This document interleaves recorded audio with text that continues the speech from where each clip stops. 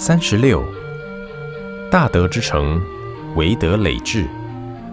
公路之长，点面砂石之慧。如欲成德，弗乎小品之行。凡是有大学问的人，道德高尚的人，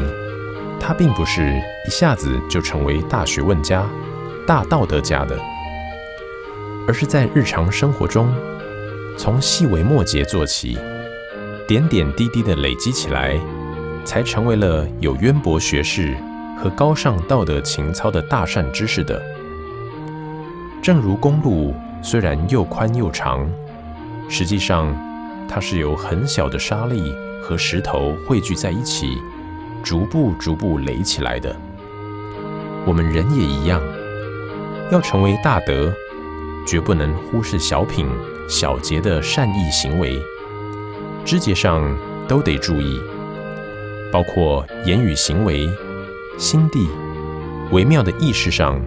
都得注意修养自己的道德品质，